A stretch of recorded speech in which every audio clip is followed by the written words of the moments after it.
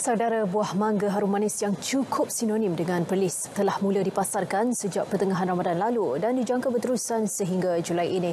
Industri harum manis bukan sahaja dapat meningkatkan pendapatan pengusahanya, malah memberi impak positif terhadap ekonomi negeri khususnya agro pelancongan dan industri hiliran.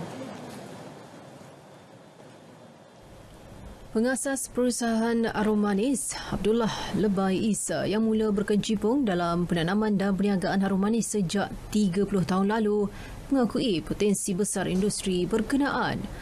Tahun ini 10 tan metrik harum manis dijangka mampu dipasarkannya yang dijangka beri pulangan lebih RM100,000.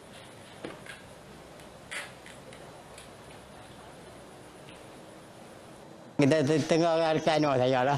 Terima saya bantu sikit untuk menjaga jaga apa? Jaga apa harga-harga buah-buah, kualiti buah kita kena jaga dan juga hubungan kita dengan petani-petani kita kena jaga.